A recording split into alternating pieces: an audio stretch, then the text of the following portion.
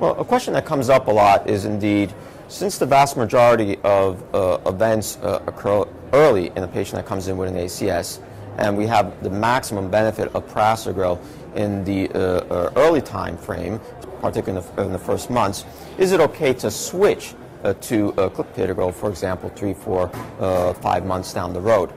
And the answer to this is we need to always analyze uh, the way the clinical trial was conducted. Uh, this was a trial uh, with, in which patients were studied out up to 15 months, and uh, patients were not randomized uh, to switch. So when we look at the overall clinical trial data, we should follow actually what was conducted in the trial and therefore continue with the treatment uh, for 15 months.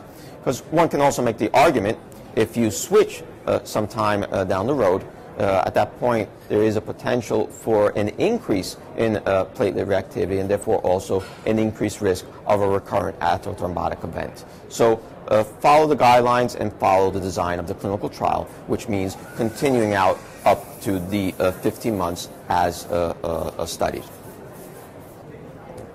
Well, we have uh, now uh, multiple uh, P2Y12 receptor inhibitors, and one of the questions is, is there perhaps an ideal uh, and for patients uh, with uh, diabetes.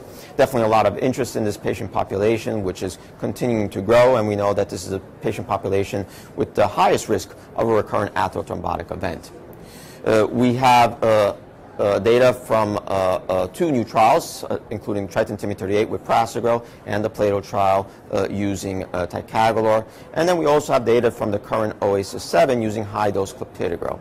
And uh, overall, what we can say is that there appears to be an enhanced benefit uh, with prasugrel uh, in uh, patients with uh, diabetes.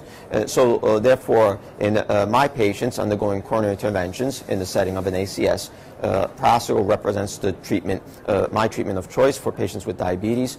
I would also like to mention that even in the elderly patients above the age of 75, there's also a benefit of a in these patients, and this is the reason why uh, the FDA gave an indication for the use of prasugrel in the elderly in the presence of a background of diabetes as well as a prior MI. Well, we do know uh, that uh, patients who have uh, uh, an event within a clinical trial uh, can uh, down the road have another recurrent atherothrombotic event.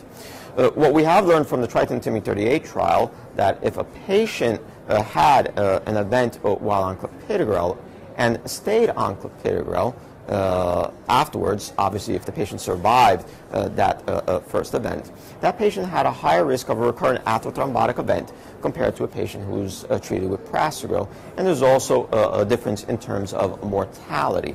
Uh, so definitely in my practice, if I have a patient coming in with an event while on clopidogrel, this represents a further reason to switch the patient to treatment with prasugrel because of this data.